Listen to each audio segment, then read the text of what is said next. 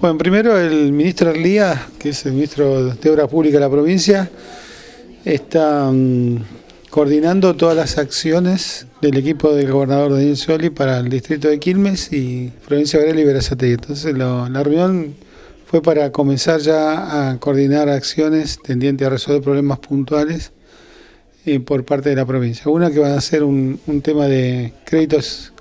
personales para los mm, sectores medios, digamos que hayan sufrido rotura del techo, que tuvieran necesidad de hacerlo en forma rápida, va a haber un, crédito personal con tasas subsidiadas para poder hacer accesible a gente. Segundo, también va a tener eh, subsidios para sectores menores recursos para ir, digamos, hacia la compra de, varios artículos varios del hogar, digamos que se han destruido, se han, por la caída de los techos, se rompieron cocinas, se rompieron no hay camas,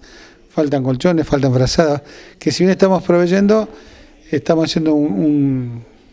digamos, un núcleo mínimo por familia, pero que seguramente la familia va a necesitar un poco más. Entonces, a través de un subsidio, pues que las familias también vean cuáles son sus prioridades. Porque uno piensa que para todo el mundo le faltan frazadas, mejor a otro le faltan zapatillas, al otro le faltan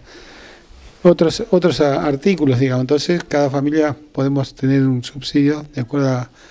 al impacto que ha recibido, ¿no es cierto? Después, eh, también para los sectores medios, digamos,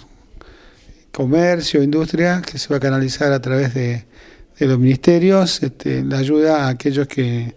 tuvieron problemas con su, su comercio o, su industria, ya sea voladura de techo, rotura de vidrio,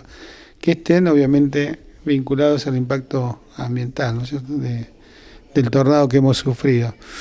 todas las acciones que tengan que ver con también desarrollo social y otras se van a estar canalizando a través de la coordinación que está establecida dentro del equipo de emergencia gobernador con el ministro Arlía